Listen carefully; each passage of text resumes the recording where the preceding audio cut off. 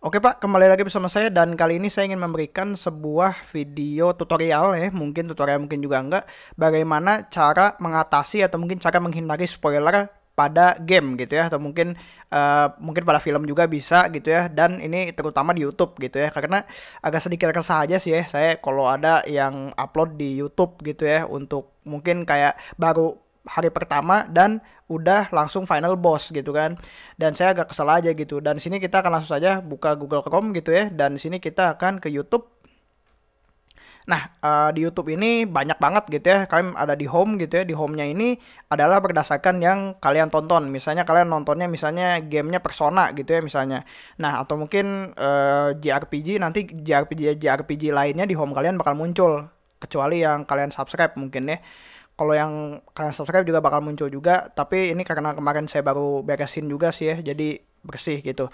Dan di sini kalian cukup ke tab history sih ya atau mungkin ya ya yang ada lambang jam gitu ya. Dan di sini akan muncul gitu ya beberapa untuk ininya untuk uh, history historinya kalian cukup klik aja yang watch history dan kalian clear all watch history gitu ya. Kalian cukup clear dan kalian clear gitu ya. Dan udah nanti bakal kosong gitu ya dan kalian cukup ke home dan nanti setelah di home ini udah gitu ya bakal bersih dan cuman akan ada yang dari subscribe kalian dan trending dan sebagainya gitu. Tapi tergantung juga sih trending kalian uh, lokasinya di mana karena saya pakai lokasinya UK ya. Eh lupa ya lokasinya apa dan jujur sih ya, ini karena saya kan kalau main game atau mungkin mau beli game gitu ya, saya kan kadang-kadang suka lihat trailernya dulu, suka lihat reviewnya dulu gitu kan. Walaupun saya nggak niat melihat misalnya kayak melihat langsung atau mungkin walkthrough ya misalnya. Saya kan nggak niat melihat misalnya untuk final boss, saya kan cuma lihat walkthroughnya doang gitu kan. Oh ini bagus nggak? Atau kan kalau misalnya di part ke satu nih gitu ya, misalnya oh ini bagus nggak gitu kan. Biasanya Dread Bread gitu kan. Saya suka nonton juga di part ke satunya bagus nggak? Kalau misalnya gamenya oh ternyata kayak gini ya udah beli. Ternyata kayak gini ya nggak beli gitu kan. Contohnya kayak gitu.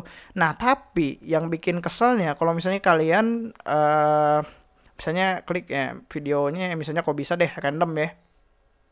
Sini kita akan post dan uh, di sini nanti bakal muncul gitu ya. Tapi ini karena baru diberesin juga jadi yang munculnya semuanya kok bisa gitu dari atas sampai bawah gitu ya kalau yang paling keselnya tuh dari thumbnailnya gitu ya itu udah kena spoilernya gitu. Kalau misalnya game gitu ya jadi kan saya kan kalau beli game kan kadang-kadang nggak -kadang day one gitu kan karena biar lebih hemat juga uangnya dan biar lebih murah juga sih gamenya ya.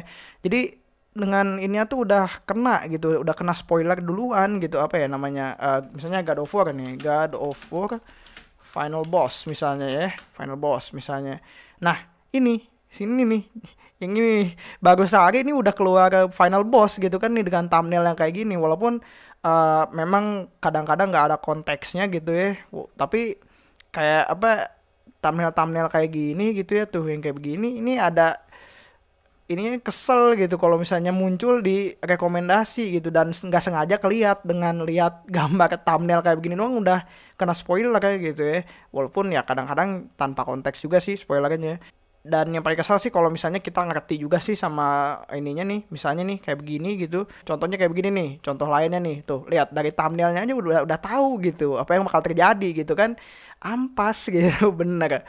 Dan kalau kalian misalnya mau main main game nih misalnya kalian lihat lihat reviewnya kalian bersihin langsung historinya gitu ya. Dan kalau kalian misalnya nggak mau lihat reviewnya gitu kalian cukup udah gitu kalian nggak harus main YouTube atau nggak harus main sosial media udah matiin aja gitu ya untuk uh, menghindari spoiler ya.